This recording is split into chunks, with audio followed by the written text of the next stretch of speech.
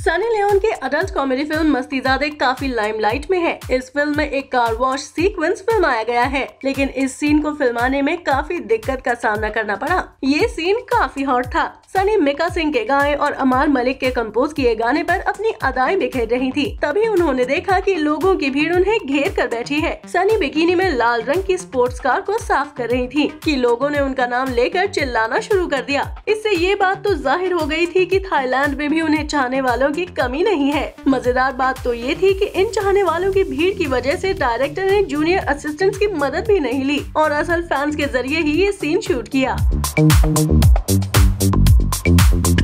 अभी वीडियो को लाइक करें, शेयर करें और अभी चैनल को सब्सक्राइब करें। इसी तरह की चटपटी न्यूज़ देखने के लिए फिर मिलेंगे मसालेदार खबरों के साथ। Bye bye